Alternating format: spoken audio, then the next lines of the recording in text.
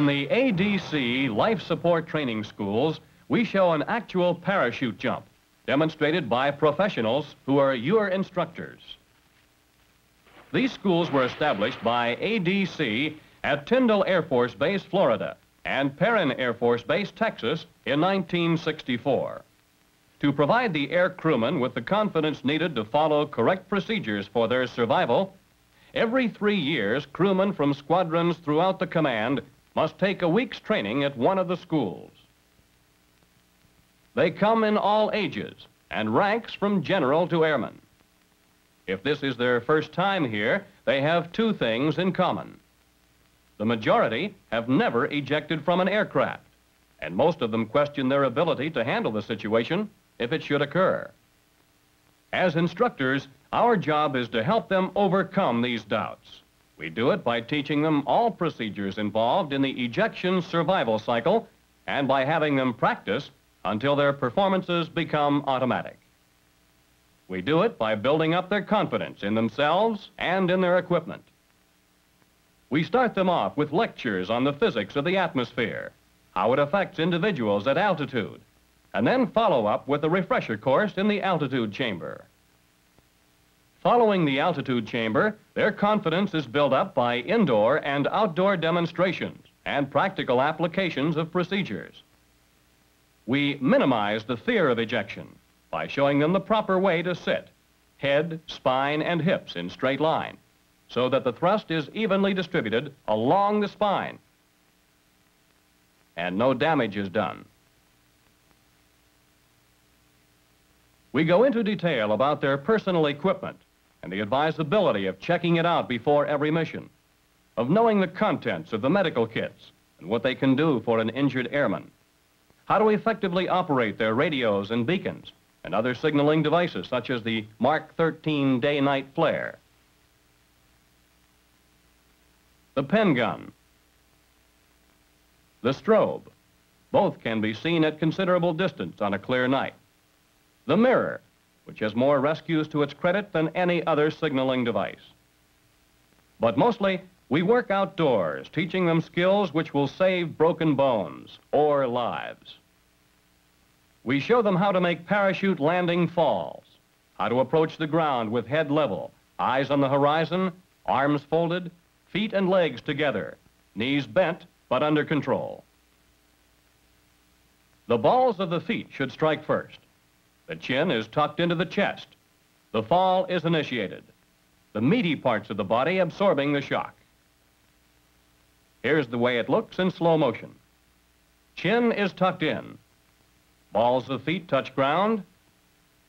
Calf touches ground. Then the thigh, the rump, and the back. The crewmen practice the falls, first from ground level, then from the jump platform. They practice parachute landing falls to the right, to the left, forward, and backward.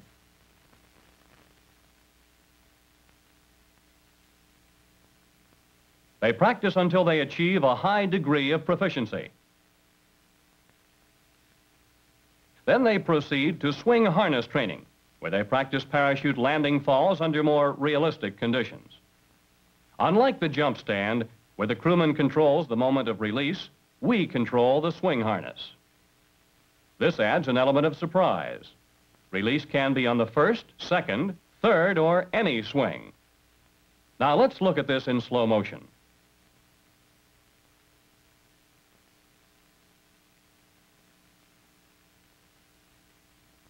Next, to prepare them to cope with parachute drag, we schedule a session with the wind drag machine.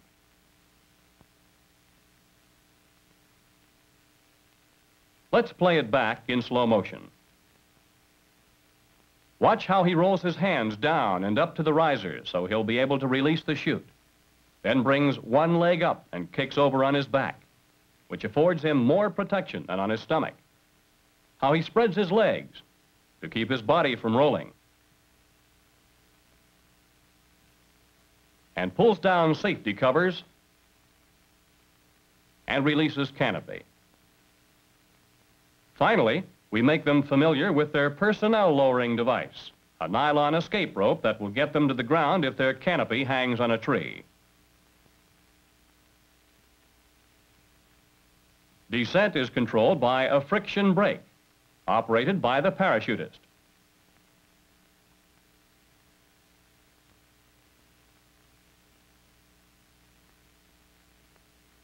In releasing the risers, we have them avert their heads to avoid a backlash. By letting the line play through the hand, they complete the descent safely. By the third day, the class is ready for the procedures they will use immediately after ejection and during descent. Our teaching method is simple. We have them repeat aloud while simulating each procedure. Then they continue to repeat them until they are so ingrained they will perform them automatically, even while in shock. Activate survival kit. Inflate LPU. Make four-line cut. They practice the procedures again after ejections from the jump tower. Check canopy. Raise visor. Remove oxygen mask.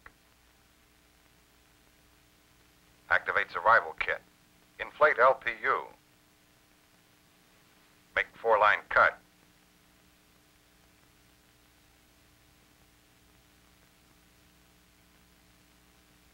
Hook life preserver in front. Survey terrain. They learn about water landings.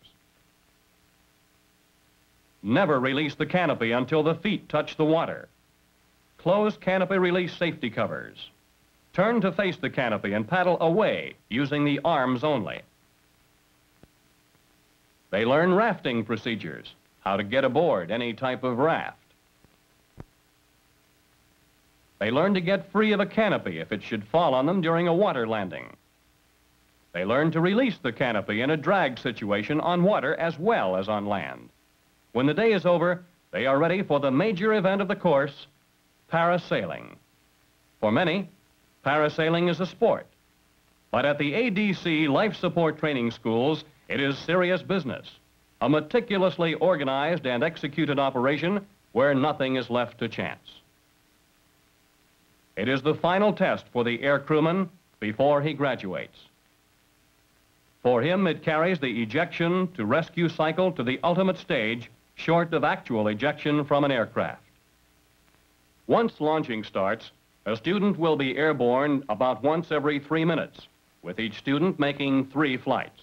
We tell the crewman what is expected of him, the procedures he will follow, and the signals he will use. Offshore, support boats move into position.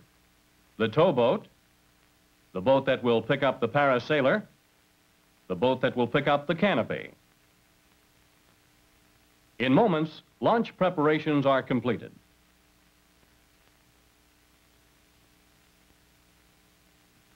Launch team ready? Boat one is ready. Boat two, ready. Boat three, ready. Team ready? Tension. Tension. Tension. Launch. Launch. Launch. With the wind in his face, he takes off. The rate of climb is fairly rapid at the start, but decreases slowly as height is gained. Depending on wind and length of tow line, altitude ranges from 250 to 600 feet. At altitude, the parasailer watches the towboat for a signal, alerting him to prepare for release. When the signal is given, the parasailer acknowledges and activates the release. On his way down, we grade his performance as he goes through the procedures he practiced during the last few days. Ejection is a hazardous experience. Before the ADC life support training schools were established, one out of three crewmen was either seriously injured or killed. Now, 97% of all ejections involving ADC air crews are successful. The primary factor in this success is the confidence gained by the graduates of these schools. Let's return to the F-106 pilot. He has the confidence in his ability to make the split-second decision that will save his life. He has mastered the required procedures so he could perform them automatically even if he was in shock. Learn your procedures and learn them well. This could be you.